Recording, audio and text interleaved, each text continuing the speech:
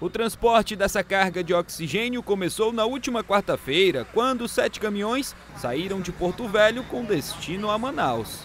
O DENIT compôs essa operação com nossos engenheiros, aqui do DENIT Amazonas, e as empresas que estão instaladas no trecho da BR-319, contratadas pelo DENIT para fazer a manutenção da BR-319, também vieram acompanhando o comboio desde Porto Velho até aqui Manaus.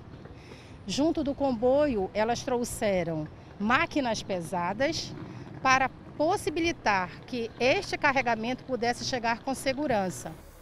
A viagem deveria durar 36 horas, mas devido às condições da rodovia, só chegaram a Manaus no final da manhã de domingo.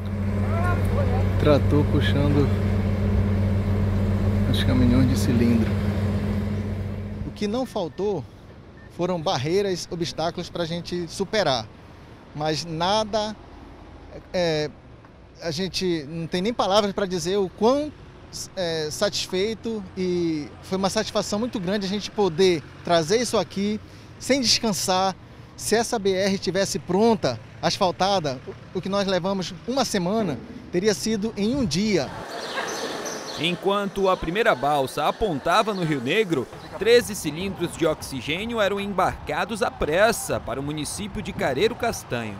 Nós estamos consumindo hoje no município de Careiro Castanho uma média de 20, 25, 23 balas por dia durante 24 horas, né? Possivelmente essas balas é, daqui para as 9 horas da noite, talvez já venha mais uma outra carga para completar a necessidade das 24 horas que eu falei para você, né?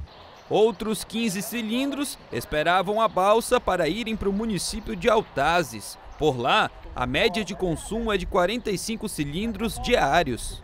Acabou, a gente já vai suprindo, sempre, sempre na frente, trabalhando para que nunca falte, né? A gente está fazendo o possível.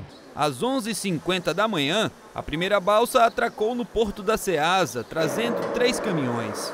30 minutos depois, já dava para ver a segunda balsa se aproximando com os outros caminhões.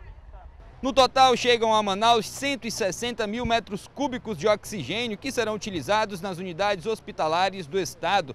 O Amazonas consome cerca de 76 mil metros cúbicos de oxigênios diários, ou seja, essa carga deve durar um pouco mais de dois dias. Durante o trajeto, o comboio foi escoltado pela Polícia Rodoviária Federal.